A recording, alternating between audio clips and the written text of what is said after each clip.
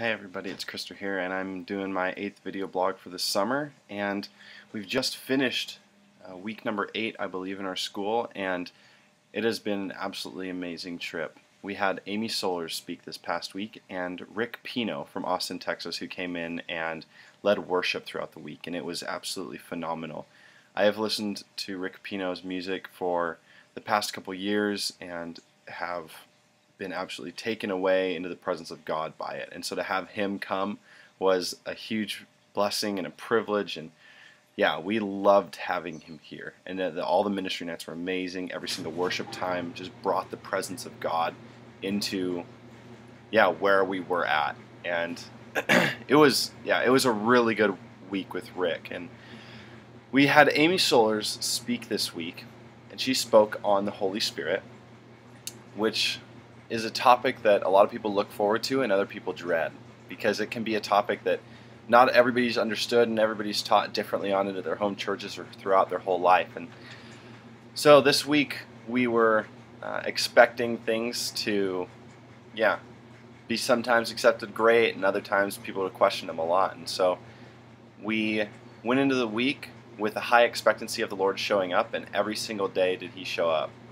We uh, encountered the Holy Spirit every single day, whether that was through um, the laying on of hands or just personal times, just sitting back and asking God to come and speak to us. And um, yeah, everybody encountered God throughout the whole week, and it was an amazing week to uh, join into the presence of God and see what He was doing. And all throughout the week, people were receiving gifts of the Spirit. Um, yeah, just the things that the Lord had uh, planned for them in advance, and people were very open to receive and very open to whatever God had for them. And even those that uh, were a little skeptical, a little nervous, the Lord broke their boxes and uh, opened them right up to everything that He had for them. And so it was such a cool experience this week to have Amy speak, and as it is every every time that she speaks. And yeah, so yeah, the week was really good, really really good. It's probably one of my favorite weeks.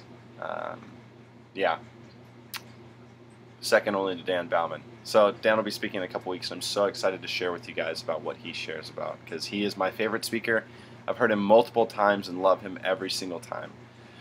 So, Team India. Well, we had uh, our team time this week, hung out and got dinner together on Tuesday and dinner on Monday together, and we've just been bonding together so well. I've loved hanging out with my team. It's one of my favorite teams yet, uh, everybody is so awesome and so enjoyable to be around all the time, and it's just awesome to see the way that everybody is coming together. And uh, yeah, so we just thank you um, so much for all of your prayers and the ways that you've joined in with me in prayer and uh, yeah, financial support.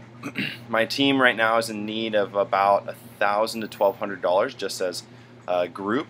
Um, Kaylee and I are still in need of finances. I'm in need of about $800 right now, and if you would like to give, you can go to my blog, and on the right hand side of my blog is a donate button. So you can check out there and give uh, through that uh, PayPal button. And uh, yeah, so if you feel the Lord led, leading you to give, then it'd be much appreciated. I'll need that money to be able to go to India, otherwise, I can't go. So $800 is uh, what I need. I've had a thousand come in so far, which is awesome. And uh, yeah, that thousand came in in the past week, so it's such a big blessing from the Lord. And I know that He's providing for me and showing up. So yeah, I just expect that He'll provide whatever else I need because He always does.